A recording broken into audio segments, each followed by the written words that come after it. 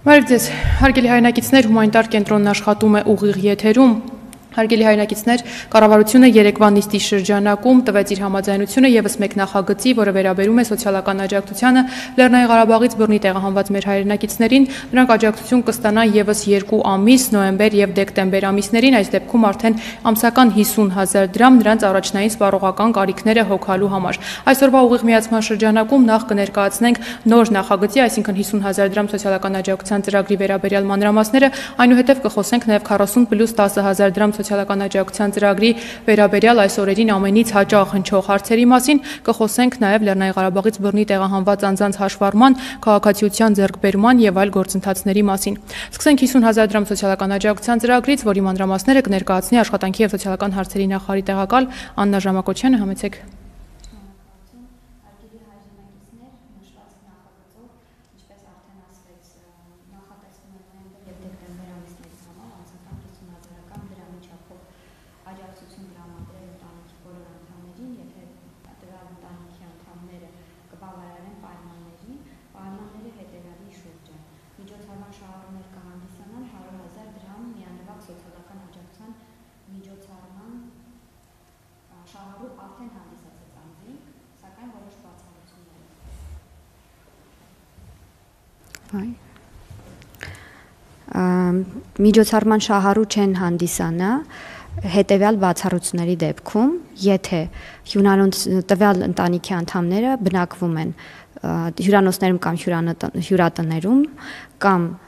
չեն գտնվում Հայաստանի Հանրապետությունում կամ սույն թվականի սեպտեմբերի 19-ից առաջ ունեցել են Հայաստանի Հանրապետության հաշվառում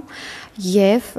կամ հոկտեմբերի 2-ի դրությամբ իրենց բանկային հաշիվներում ունեն 2 միլիոն դրամական շեմը գերազանցող դրամական միջոցներ։ Այս 2 միլիոն դրամական շեմի սահմանափակումը տարածվում է միայն տվյալ անձի վրա, չի տարածվում ընտանիքի անդամների, այդ թվում երեխաների վրա։ 2 միլիոն դրամական շեմի սահմանափակումը չի տարածվում նաեւ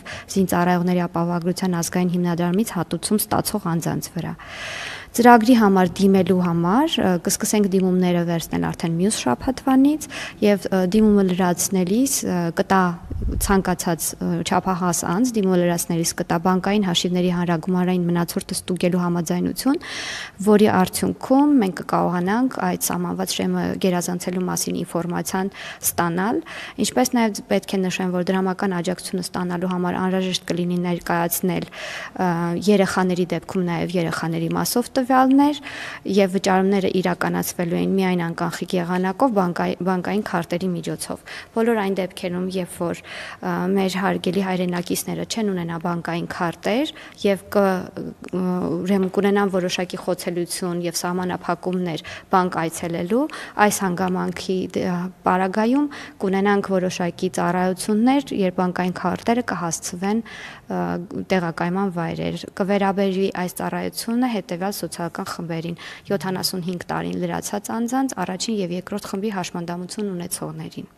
Թերևս այսքանն է։ Ժամակոչյան դուք իհարկե խոսեցիք 2 միլիոն դրամ սահմանափակման բացառությունների մասին, բայց կխնդրեմ եւս մեկ անգամ ընդգծեք ցինցառայողների ապահովագրության ազգային հիմնադրամից հատուցում ստացող անձանց մասին։ 2 միլիոն դրամական շեմի սահմանափակումը չի տարածվի ձեր նշած խմբի համար, այսինքն բոլոր նրանք, ովքեր ունեն որոշակի միջոցներ, որը 2 միլիոն դրամական շեմը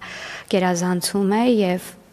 նաև հանդիսանում են զինծառայողների ապահովագրության ազգային հիմնադրամի շահառու, նրանց համար այս շեմի արկայությունը ընդհանրապես չի ստուգվի։ Շնորհակալություն Տիկին Ժամակոչյան, հարգելի հայրենակիցներ, ինչպես նշեցի, կխոսենք այսօր նաև 40 պլյուս 10000 դրամ սոցիալական աջակցության ծրագրի վերաբերյալ այսօրերին ամենից հաճախ հնչող հարցերի մասին, խոսքը նոեմբեր ամսվա վճարումների մասին է։ Ունենք հայրենակիցներ, ովքեր հարցնում են, եթե 100.000 եւ 40 պլյուս 10.000 դրամ սոցիալական աջակցությունները չենք ստացել, այս դեպքում կարող ենք դիմում լրացնել նոեմբեր ամսվա համար։ Հարգելի հայրենակիցներ, այո, բնականաբար դիմումներ ներկայացնել կարող եք։ Դիմումները կհաստատվեն այն դեպքում, եթե դուք 100.000 դրամ սոցիալական աջակցության ծրագրի շահառու հանդիսանում եք եւ աջակցությունը ստացել եք։ Այսինքն, եթե առայժմ չեք ստացել 100.000 դրամ սոցիալական աջակցությունը, կխնդրենք դիմել միասնական սոցիալական ծառայությանը 114 հեռախոսահամարով, ստանալ պարզաբանում եւ դրանից հետո արդեն կկարողանաք դիմել նաև նոեմբեր ամսվա աջակցությունը ստանալու համար։ Ունենք եւս այլ հարց, երկու եւ ավելի ընտանիքներ ապրում են նույն հասցեում, իրար հետ ազգակցական կապ չունեն։ Ինչպես լրացնել դիմումը մեկ հայտով թե առանձին։ Հարգելի հայրենակիցներ, նման դեպքերում խրախուսվում է, որ չափահաս անձինք ներկայացնեն դիմումները առանձին եւ անպայման չմոռանան ներկայացնել նաեւ նույն դիմումում իրենց անչափահաս երեխաների համար հայտը։ Եթե երեխաներից երկուսին համակարգը նույնականացնում է, մեկին ոչինչ պետք է անել։ Հարգելի հայրենակիցներ, նման խնդիրները շատ չեն հանդիպում, բայց քանի որ հնչում են հարցեր, այնուամենայնիվ այնուամենայնիվ կպատասխանենք, եթե ունենում ենք նման խնդիրներ, սա կարող է լինել ձեր ինտերնետի հասանելիության հետ կապված որևէ խաթարում, ուստի կխնդրենք եւս մեկ անգամ փորձել, կամ եթե շարունակվում է խնդիրը, ապա խնդրում ենք կրկին տեղեկացնել 114-ին, փոխանցել նրան ձեր հանրային ծառայության համարանիշը 114 թեժգիծը կապ կհաստատի նոր տեխնոլոգիաների կենտրոնի հետ, տվյալները կստուգվեն եւ ձեր գործի մանրամասների մասին ձեզ կտեղեկացնեն։ Ունենք հայրենակիցներ, ովքեր հետաքրքրվում են փոստային դասիչը ինչպես լրացնել, հարգելի հայրենակիցներ լրացնել եւս մեկ անգամ ուզում ենք տեղեկացնել, որ հայտը լրացնել անհրաժեշտ է soцservice.am կայքի առցանց դիմումներ պատուհանում, այստեղ անհրաժեշտ է պարզապես լրացնել ձեր անունը, ազգանունը, անձը հաստատող փաստաթղթից որևէ տվյալ, օրինակ ՀՑՀ, նույնականացման քարտ կամ անձնագրի տվյալներ եւ մնացած ամբողջ տվյալները ինքնաշխատ եղանակով կգեներացվեն, այսինքն այս դեպքում փոստային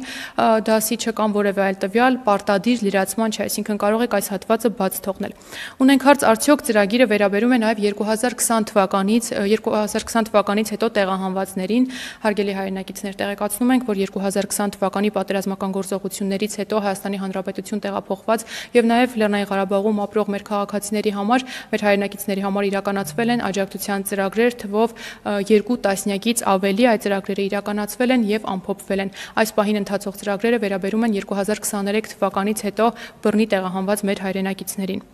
Եթե ընտանիքի մի մասը մի տեղ է վարձակալությամբ ապրում, մյուս մասը մեկ այլ տեղ, ինչպես պետք է լրացնել դիմումը։ Հարգելի հայրենակիցներ, այս դեպքում անհրաժեշտ է դիմումը լրացնել առանձին, քանի որ դիմումը լրացնելիս պարտադիր պայման է, որ դուք լրացնեք նաև ձեր փաստացի բնակության վայրը։ Այսինքն մի առաջնորդվեք այն սկզբունքով, որ ամբողջ ընտանիքը պետք է լրացնի մեկ դիմում, այլ պետք է լրացնել առաջնորդվելով փաստացի բնակության վայրով, անպայման չմոռանալով երեխայի տվյալները եւս ներառել դրանում։ Եթե սխալ է լրացվել տվյալները մեկ այլ հարց, հարց կարող ենք այն փոփոխել։ Տեղեկացնում ենք, որ դիմումը լրացնելիս հետո այն անմիջապես փոխանցվում է մշակման փուլ, այսինքն ստուգվում են, ուսումնասիրվում են ձեր տվյալները։ Նշված դեպքում, եթե դուք որևէ տվյալ ամբողջական չեք լրացրել կամ սխալ եք լրացրել, ապա դիմումը կմերժվի եւ դուք կկարողանաք ներկայացնել նոր դիմում։ Ունենք եւս մեկ հարց, եթե լրացնում ենք հեծի բաժանորդային համարը, արդյոք գումարը պետք է ուղղվի պարտադիր էլեկտրաէներգիայի վճարմանը, հարգելի հայրենակիցներ, բնականաբար ոչ, դուք կարող եք գումարը տնօրինել ձեր կոմունալ ծառայությունների ծախսերի վճարման համար